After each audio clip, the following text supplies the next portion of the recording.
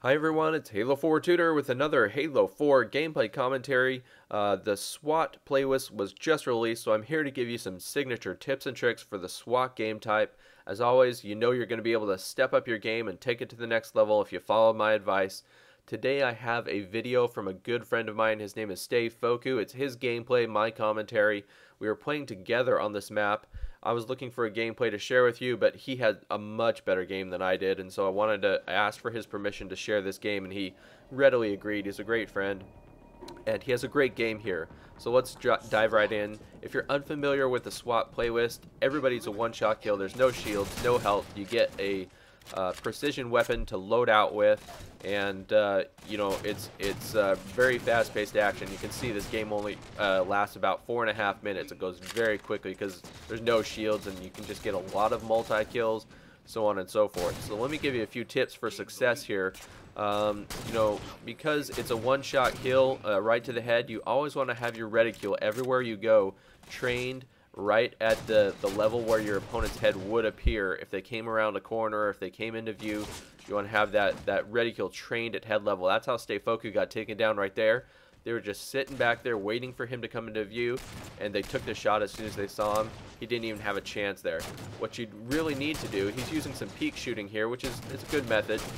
What I would have suggested is, is that as he comes around the corner, if you jump, that's a really great method. So they can't, if you jump as you come around a corner or as you come into a new room or into sight, uh, if there's opponents there who are trained on your head, they're going to end up hitting you in the body if you jump. And then you're going to be able to counter with a quick headshot and finish them off. Alright, so if you're waiting for opponents to come into view, keep that reticule at head level but if you come into a new area or into view in general, you want to be jumping. Okay, that way they'll hit you in the body, you can counter with a headshot. Now, I typically recommend that players travel in packs and pairs so you can team shoot the other players, but in this game type, team shooting is not necessary. It, you don't need to team shoot because it's a one-shot kill. So you, what you actually are better off doing is spreading out and trying to catch your opponents uh, off guard, okay? Because there's no radar and you just got the one-shot kill, so you can very easily take out huge groups of players all by yourself, okay? It's the one game type where I'm going to encourage you to play a lone wolf style. Here he makes a big mistake. Look, he's got the triple kill, starts to reload. He missed out on a perfect opportunity for an overkill. Don't reload until you know that the coast is absolutely clear or until you're completely out of ammunition, okay? He, he really missed out on an opportunity there. He wanted me to point out that mistake so that you guys don't make that same mistake yourselves.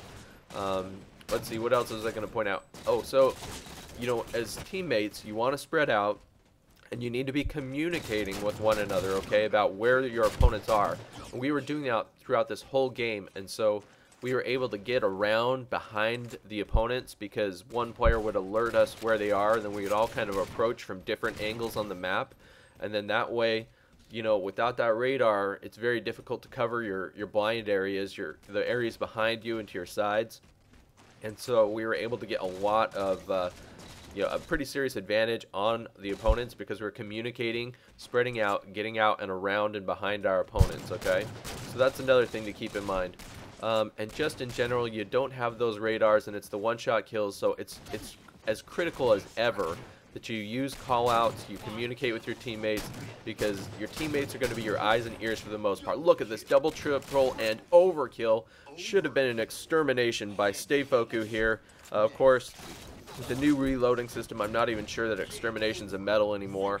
But really outstanding gameplay here. Hope you guys learned a few things through my commentary and through his gameplay. Please remember to check out all the other fantastic videos I have on the channel. Uh, Halo 4 Tutor, thanks for watching. Please like, comment, and subscribe. Add this to your favorites. I'll see you next time.